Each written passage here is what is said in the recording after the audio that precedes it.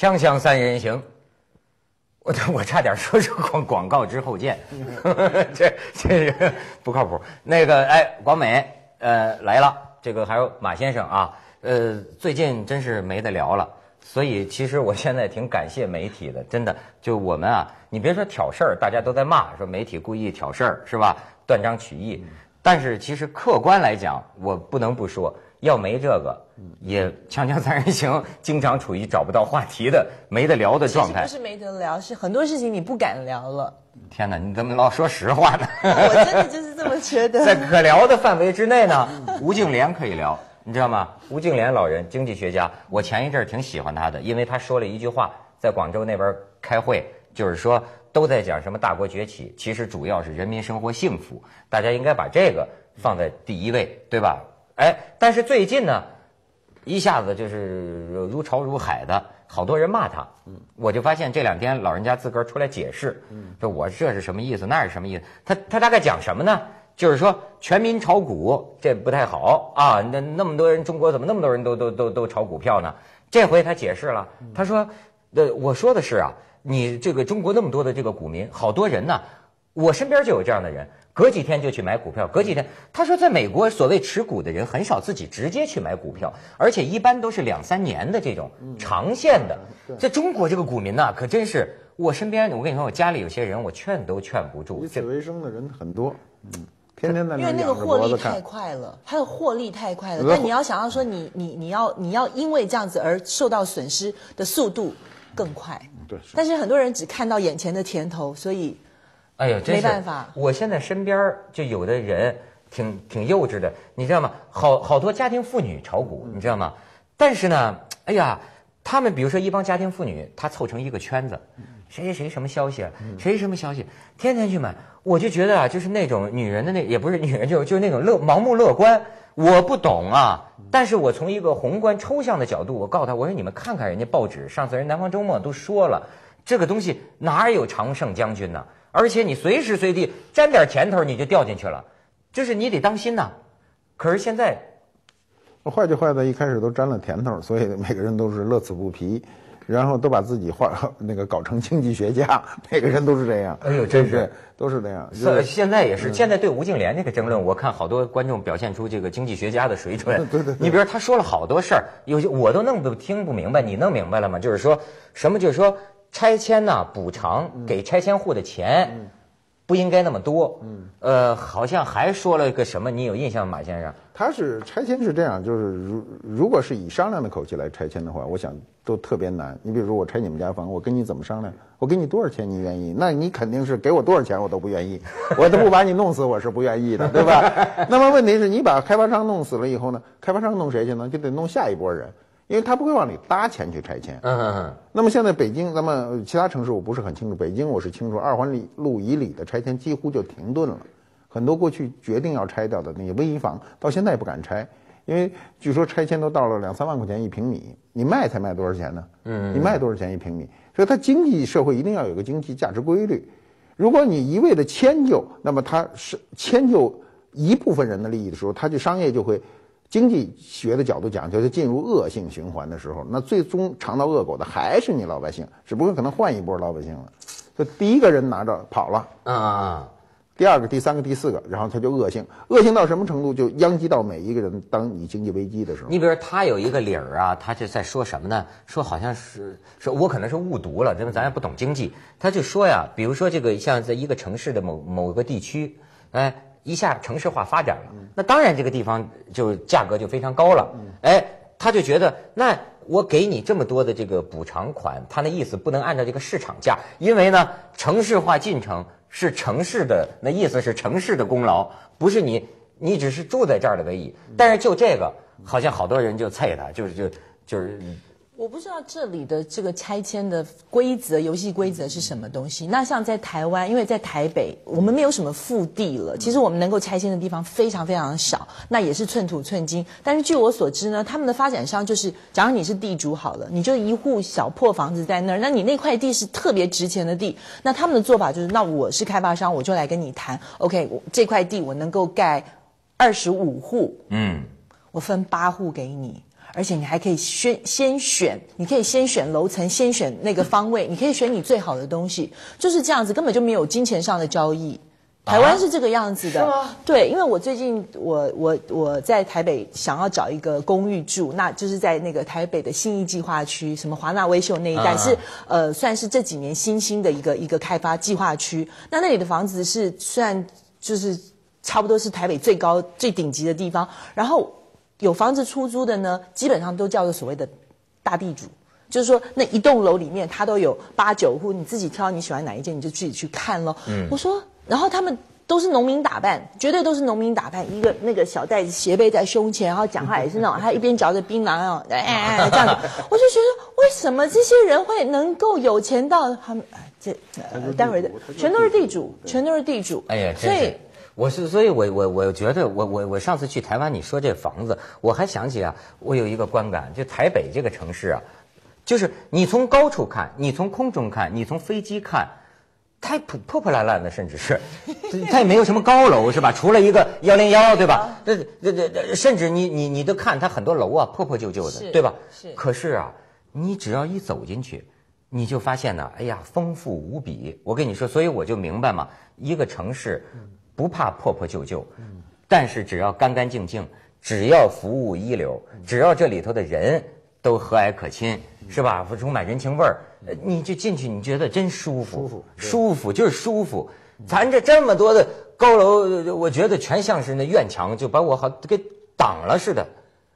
你觉得呢，马先生？是这样，就是人的居住环境，它最大的是文化环境。嗯，你比如说我们，我们我们中国人都是管自己这一块儿，你不管住到多好的一个一个，就像北京啊，多好的公寓，你可能一拐过去就是垃圾，那很可气，没有办法。我觉得在北京室内是找不到一块很高兴的地方，很舒适的地方找不到的。他们就好多人就感慨，就我听你们北京人感慨啊，就留过洋的这个回来，就是说，哎呀，北京太丑了，就是就是，但是那特那种特是不伦不类的城市，嗯，那当年当年当年梁思成是拼尽全力没有保护下，嗯。当年他不让拆城墙嘛，嗯，他不让就是说北京应该盖一个新北京啊。北京现在还有老话，就是石景山那边叫新北京，过去北京的就是政府应该盖在那儿，但是可是当时中央政府一个错误的决定，就是把北京内部就在北京中心老城中心办公，而导致这里盖了一些很丑陋的楼。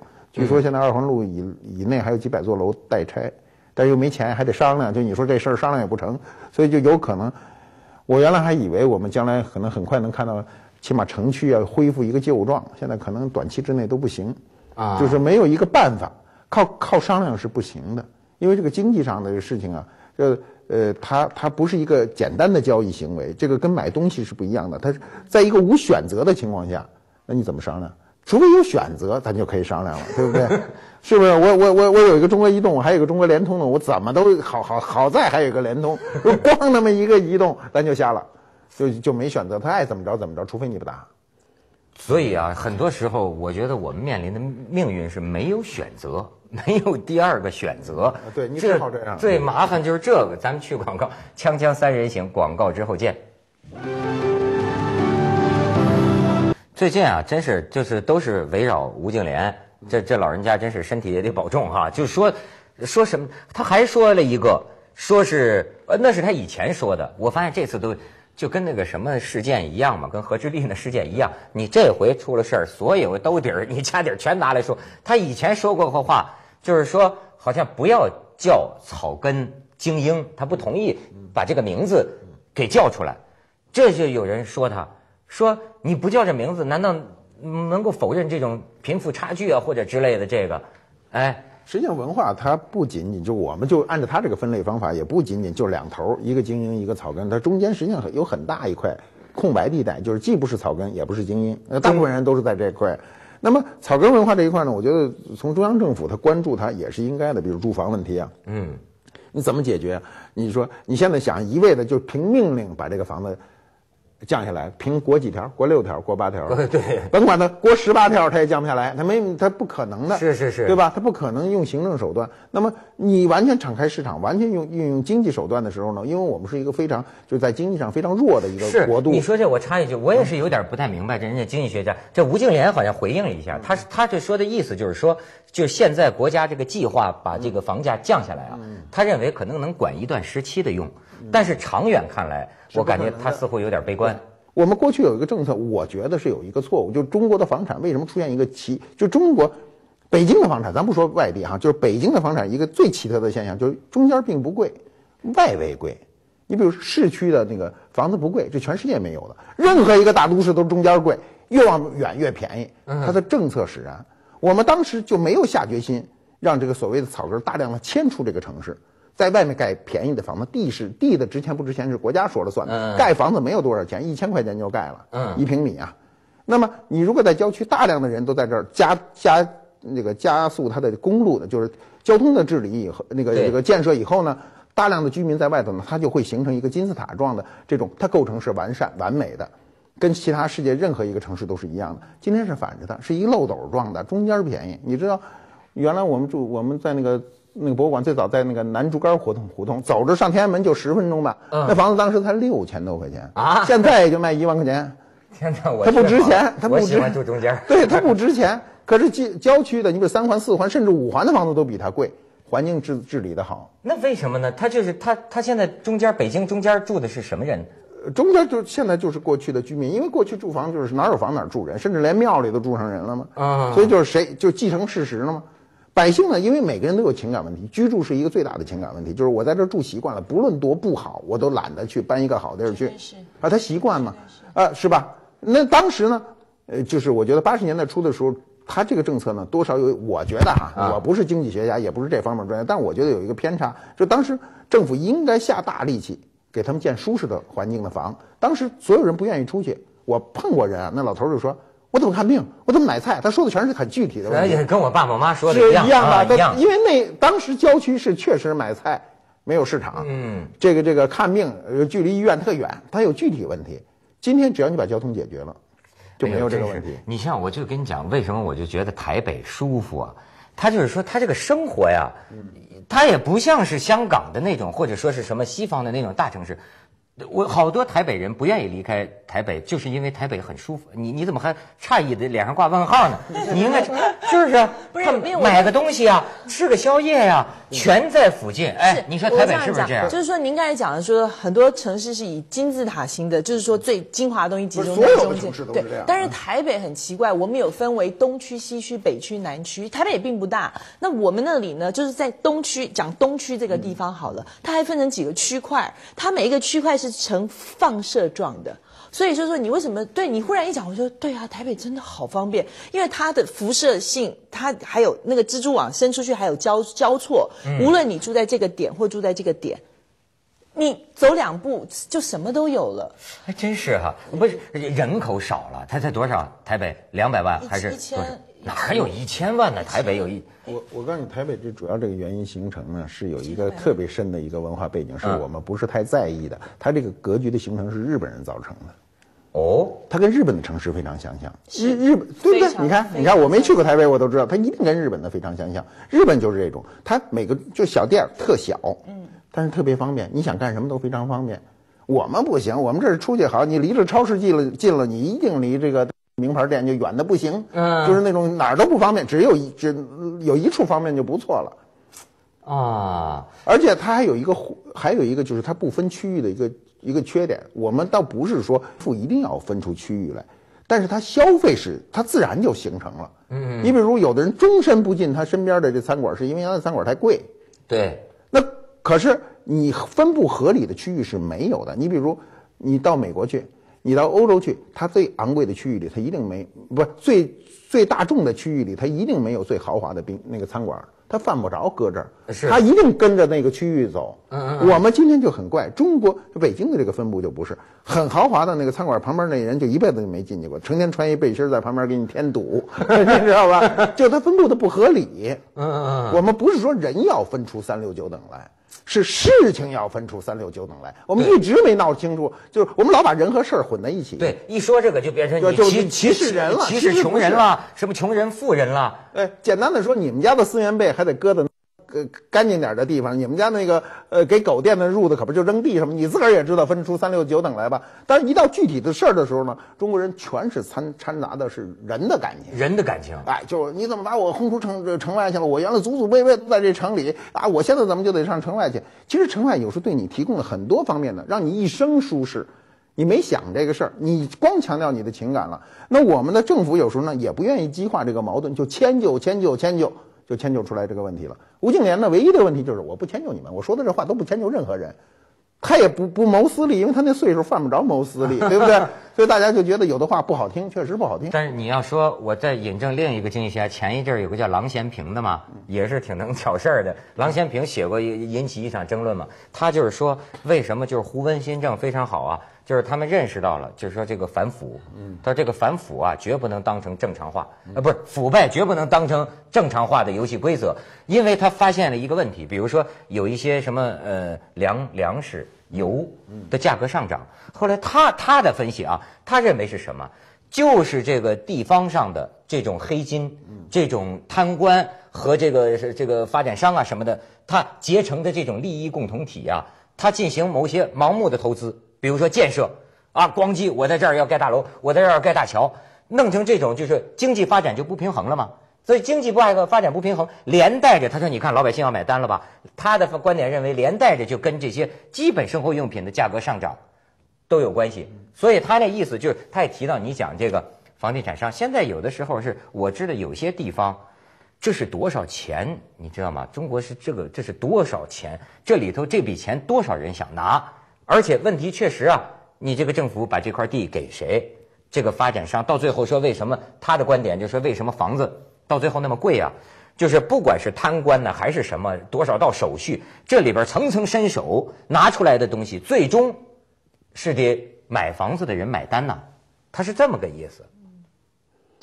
所以，所以这个就是住房这一块呢，对于今天的老百姓，对于我们每个人来说，都是非常至关重要的一件事情。因为很多人终身解决不好这个问题，就是我我又想住那时候住不起，所以呢，就出现了这个有一个怪的概念，全世界没有，咱有叫经济适用房。这个经济适用房呢，是政府一个呃主观想的非常好的一件事，但是在操作当中出了一个问题，就是经济适用房没有卖给他想卖的人，所有买的人都是超出买经济适用房能力的人，所以说大量的白领都买的经济适用房。你去看经济适用房那些小区里全是豪车，就是它不匹配。台台湾有没有这种经济适用房？什么叫经济适用？就怎么说嘛，就给收入不高的人士。香港的公屋，呃，差有点呃还不太一样。它不租，它是卖的。啊，香港的公屋也不租的吧，也是卖吧，也就是一些呃低收入户可以才可以申请，你每个每年的收入低于哪里才？我问你，台湾也有叫国民国民住宅，国民住宅啊也有，感情不住这里边这都不算国民是吗？台湾的叫法都特怪。咱们去一下广告，锵锵三人行广告之后见。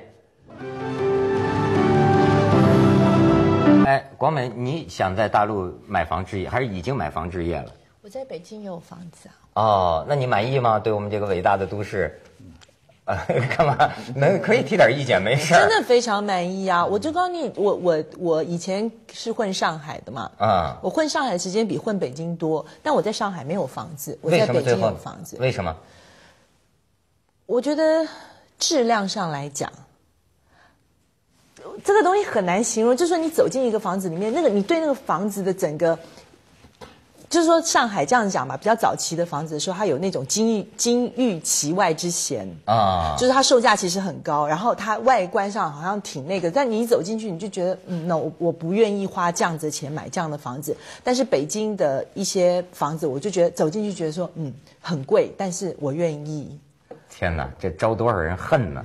招，还有，我现在学会一词儿，北京人爱说什么羡慕嫉妒恨，就是说人世间很多的矛盾，社会上很多的冲突。但是我跟你要招到源头，往往就是羡慕嫉妒恨。但是我跟很多人一样，我我买了一个房子，我一样要背二十年债啊！我又不是哇进去啪现金就买房子，是不是？但是看见你有好房子，我就羡慕嫉妒恨。我还租房子呢，你都买房子，我就恨吗？所以啊。就我就说，还是他他们刚才讲，你像吴敬琏过去讲的什么？他说应该像个枣核型的社会啊，不是 枣核，橄榄，就是说两头所谓什么最富的、最穷的都挺少，大部分要有一个中等、中产、中间的这个阶级。可是现在在中国，讲老实话，中国是个葫芦型的，上面头小点，底下头特别大。没错中间是，看你从春运就看出来了吧？嗯，哪个国家会有这么多的这么挤挤火车的这种呃这一种？人同时上车，这事儿比较烦。所以这次吴敬琏还挑起一事儿，他就他那意思就是说春运票价那个也可以不上涨，为呃不是也也不呃不咱不是不涨价嘛？嗯，他那意思就是说可以调价可以调价，可以浮动，因为呢，他说呃很多人民回来跟我说了呀，说你没有提价，但是民工买不到票，票都掌控在黄牛党的手里。他那意思，与其这样，你还不如水涨船高，然后你可以把你这个一部分钱补贴什么三个亿啊什么的，你补贴给这些民工。马先生，你觉得怎么补贴啊？对对，他说这个那具具体操作写民工两个字啊他很难补贴，但是他可以在设施上补贴，比如我的这个这个火车要尽量的舒适啊，嗯我加大运力啊什么的。我是我是比较同意他这个观点，因为他他经济上一个最简单的道理就是我需求需求是一个平衡状态，不平衡怎么办呢？不平衡就要要用价格这个杠杆来调整它。如果你现在一味的保持一个平时的价格的话，它出现一个简单的问题，就这中间这钱上哪儿去了呢？上一个不知名的人手里去了。上一黄牛党手里了。如果你能保证所有的人都不去买这个票，那行，因为票是紧缺的，很多人要计算个人的时间成本，个人的时间成本。我在那等一天。对我我不能站在马路上喝西北风，我得吃一天饭吧，我得找个地儿住吧。这些钱加起来远比那个票多，那我干脆我给你五十块钱，你把票给我，我上车走人了。嗯嗯，那么对于黄牛党来说呢，我我也替他们说，他也有成本，他也得起早贪黑的，他也得行，也得也得行行点会吧，对也得疏通点关系吧，嗯花了好多冤钱，他也得把这钱挣回来吧。然后呢，他就由于你一个政策上的一个调整，我也不说失误，它导致了一大堆生存的方法就出现了，而这些都是寄生的，很讨厌，全是寄生的。寄生虫啊，对，所以特特招人恨。人家虽然拿了五十块钱，他是算了自己的成本，但是他心里并不心甘情愿，嗯还不如给了国家。王伟听见我们大陆这事儿怎么样？我觉得他应该改善买票的设备。买票